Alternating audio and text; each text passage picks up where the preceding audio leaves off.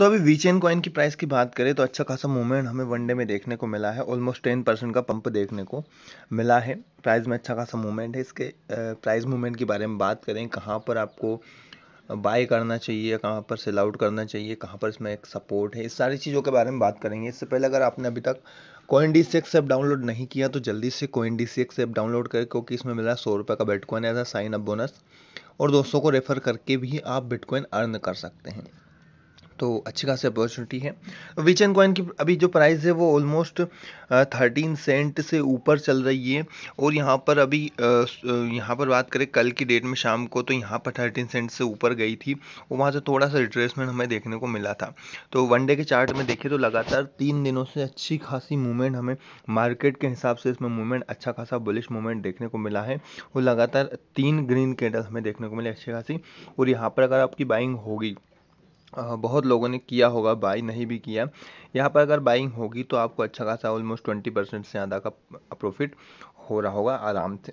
तो इसको अगर सपोर्ट की बात करें तो ये जो रेंज है इसमें ऑलमोस्ट इलेवन सेंट से ऊपर इलेवन सेंट से ऊपर इलेवन पॉइंट फोर तक इलेवन पॉइंट फाइव तक इसमें एक अच्छा खासा सपोर्ट देखने को मिलेगा। तो आपकी अगर बाइंग इससे ऊपर है या चाहे नीचे कहीं पर भी है, लेकिन मार्केट अभी बुलिश है और इस रेंज से नीचे ये नहीं जाने वाला है। ऑलमोस्ट इससे ऊपर रहेगा। अगर थोड़ा बहुत रिट्रेसमेंट हमें देखने को मिलता है, थोड़ा बहुत करेक्शन देखने को मिलता है तो ये इस रेंज तक आ सकता है। यहाँ पर ऑलमोस्ट ट्वेल्व पॉइंट फाइव तक आ सकता है, थोड़ा बहुत और नीचे आ सकता है। एक जो रेजिस्टेंस को फेस करने को मिलेगा, ये इसको इस रेंज में देखने को मिलेगा ऑलमोस्ट 14 सेंट के लगभग में इसको एक अच्छा खासा रेजिस्टेंस है।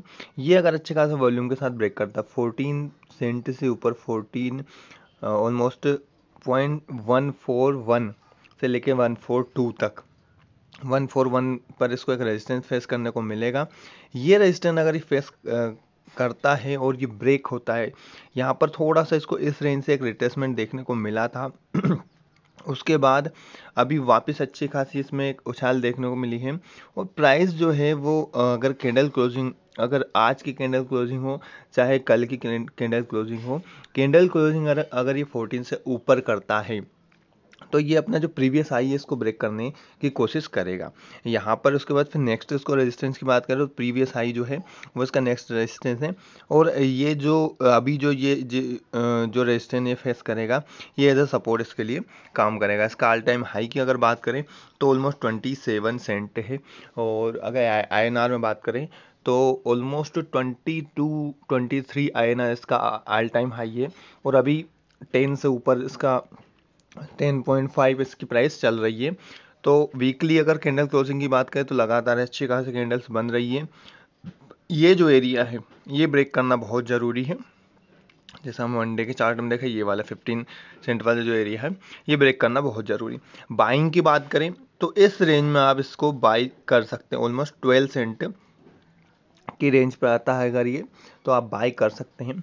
सेल आउट की अगर मैं बात करूँ तो आप इस, अगर एज अ ट्रेडर में बात करूँ तो आपको थोड़े से फिफ्टीन परसेंट के प्रॉफिट के लिए वेट करना चाहिए, क्योंकि यहाँ पर देखिए, इसने यहाँ पर अभी पिछली जो कैंडल फोर आवर वाली कैंडल थी, ये थर्टीन सेंट थर्टीन सिक्सटी पर पहुँची थी। तो इससे थोड़ा सा ऊपर जाएगा ये और वहाँ से चाहे रिट्रेसमेंट देखने को मिले। ऑलमोस्ट आप टेन टू फिफ्टीन परसेंट का प्रॉफिट ले सकते हैं और चाहे तो थोड़ा सा वेट भी कर सकते हैं दो तीन दिन के लिए। और शॉर्ट टर्म की बात करूँ तो जो प्रीवियस हाई है, उसको ब्रेक करने के बाद आप नेक्स्ट प्रीवियस हाई अगर ब्रेक करता है प्रीवियस हाई के पास से अगर इसको रिट्रेसमेंट देखने को मिलता है तो आप सेल आउट कर सकते हैं। और अगर प्रीवियस हाई के बाद अच्छे खासे वॉल्यूम से उठता है अगर ये तो हो सकता है उससे ऊपर जाए और नया हाई बना यहाँ पर जो ऑल टाइम हाई तक पहुँचने में भी टाइम लगेगा लेकिन प्रीवियस हाई को ब्रेक करके नेक्स्ट हाई बना सकता है। तो वहाँ तक आप वेट कर सकते हैं। और एज अ ट्रेडर मैंने आपको बता ही दिया। और यहाँ पर आपको बाइंग रेंज बता दी मैंने। ऑलमोस्ट ट्वेल्व सेंट पर एक आप बाई कर सकते हैं। ट्वेल्व सेंट से नीचे आता है तो आप बाई कर सकते हैं। ट्वेल्व पॉइंट फोर तक आप देख सकते हैं। ये रेंज है ऑलमोस्ट इलेवन पॉइंट सिक्स से लेकर, ऑलमोस्ट इलेवन सिक्स से लेकर ट्वेल्व फोर तक आप देख सकते हैं इसमें रेंज। वो आप पोर्टफोलियो डाइवर्सिफाई कर सकते हैं फिफ्टीन परसेंट का।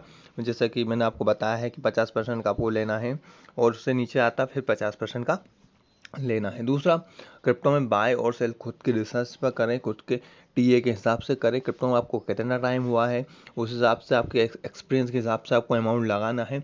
उतना ही अमाउंट लगाना है जितना आप रिस्क झेल सकें, जितना आपको दिल को जो चोट पहुँचे, वो भरा जाए चोट। ज़्यादा दिक्कत नहीं होनी तो हार्ट अटैक जैसी प्रॉब्लम हो जाए। मतलब उतना ही अमाउंट लगाएँ जितना आप झेल पाएँ, जितना अगर ये चला भी जाता आपके ऑलमोस्ट अगर यहाँ पर मैं स्पॉट और फ्यूचर वाली बात नहीं करता हूँ तो जाने की तो कोई बात होती नहीं है। मैंने आपको बताया, पाँच से छः महीने की होल्डिंग अगर आपके पास है तो आपको बिल्कुल भी लॉस नहीं होगा। तो इस चीज़ का ध्यान रखें। यहाँ पर हम कोई फाइनेंशियल एडवाइस नहीं देते, कोई इन्वेस्टमेंट एडवाइस नहीं देते हैं। एजुकेशन पर्पज़ पर वीडियो है ताकि चीज़ें आपको समझ में आए। बाकी वीडियो अच्छा लगा लाइक ज़रूर करें, चैनल को सब्सक्राइब कर लें। Thank you